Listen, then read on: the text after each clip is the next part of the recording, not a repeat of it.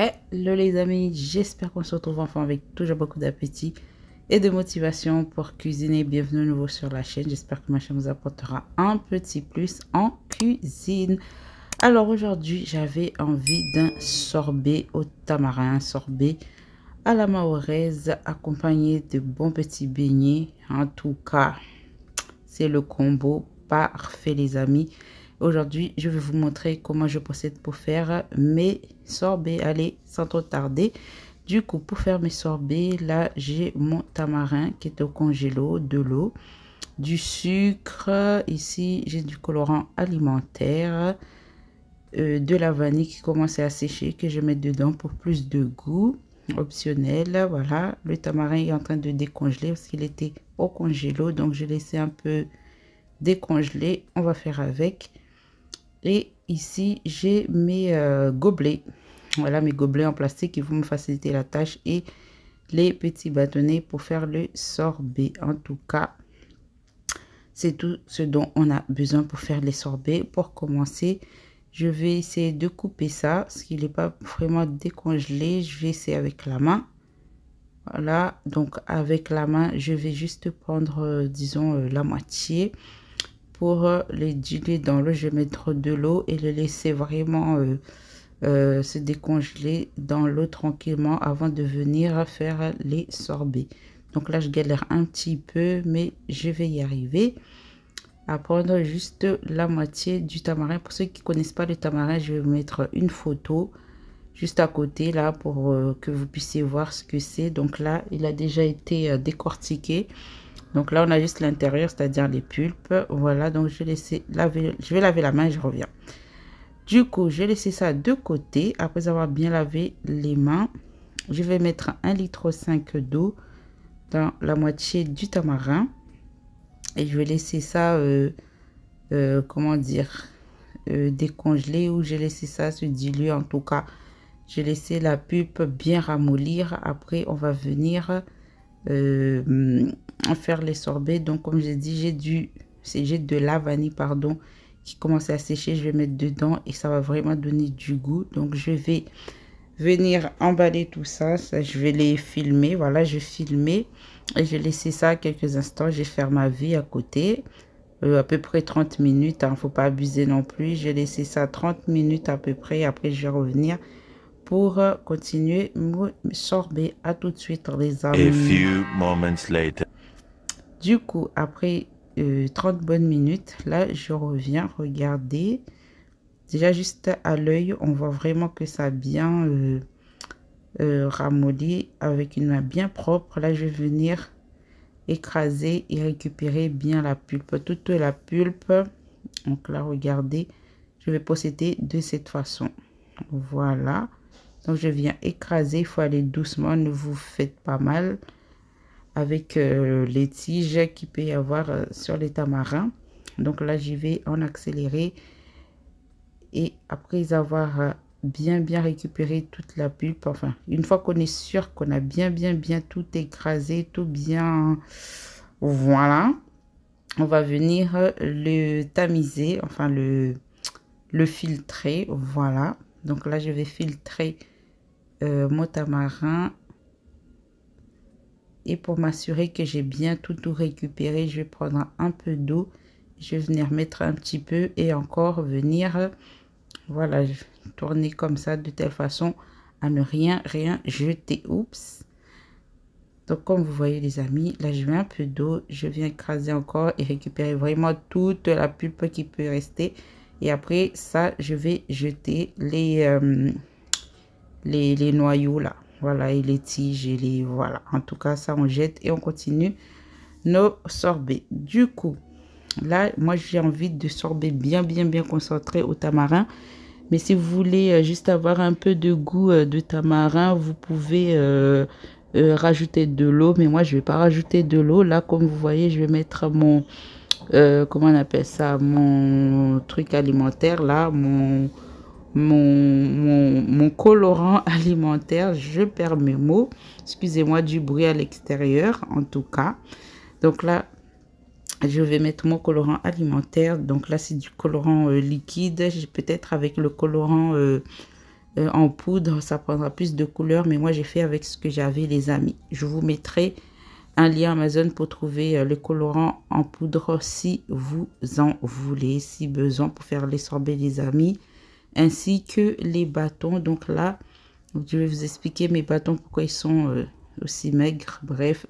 Donc là, j'ai mis du sucre, vous mettez le sucre à votre goût. Et il faut bien, bien, bien tourner pour être sûr qu'on a bien, bien, bien dilué tout le sucre à l'intérieur. Et une fois qu'on est sûr que tout le sucre est bien dilué, on vient venir placer nos gobelets en, en, plastique, on va dire, oui. Donc moi, j'ai choisi ceux-là pour me faciliter. Et si vous n'en avez pas, je vous mettrai un lien Amazon pour pouvoir en avoir soit les mêmes ou sinon des similaires. Et au pire des cas, N'hésitez pas à utiliser euh, des boîtes de, de yaourt, hein, comme au bled. Au bled, quand on allait acheter les sorbets chez les dames qui les faisaient, ils faisaient ça dans des boîtes euh, de yaourt récupérées et ça faisait vraiment l'affaire. Mais je vous mettrai un lien pour euh, avoir les mêmes gobelets ou des similaires. Et là, comme vous voyez, mes bâtons, j'en mets deux. Parce que là, vous voyez, ils sont, ils sont comment dire, ils sont coupés de façon très, très fin. Du coup, c'est pas vraiment les bons. Je vous mettrai un lien Amazon pour avoir les bons bâtons, les bons bâtonnets pour faire les sorbets. Ils sont plus épais et plus, euh, plus résistants. Moi, j'avais que ça. Du coup, j'ai pris ce que j'avais en cuisine. C'est pour ça que j'en mets deux pour que ça puisse bien tenir et pas se casser au moment de décongeler euh, les sorbets. C'est pour ça que j'en mets deux. Euh, à chaque fois dans les verres et je les passe toujours sous l'eau, hein, dans l'eau, avant de mettre dans mes verres pour faire les sorbets, les amis. Voilà les explications. En tout cas, n'hésitez pas à regarder les liens que je vous mettrai en barre d'infos pour pouvoir vous acheter vos bâtonnets et vos gobelets et aussi le colorant pour faire vos sorbets à la maison comme au bled. Donc après avoir bien placé tous mes éléments, je viens me rassurer que j'ai bien bien bien euh, touillé tout mon sucre, que mon sucre est bien dilué et après bah il n'y a plus qu'à mettre dans les verres tout simplement les amis. En tout cas, c'est sorbet, c'est toute mon enfance et même quand je vais en vacances encore euh, maintenant euh, à Mayotte, bah la case sorbet et voilà est obligatoire avec des bons petits beignets. En tout cas, à la fin, vous verrez avec quoi je vais déguster mes sorbets. Donc, c'était juste une petite envie du jour.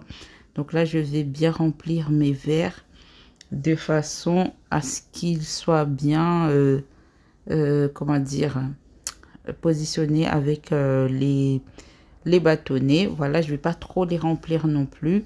Donc, je et je perds mes mots. Désolé en tout cas.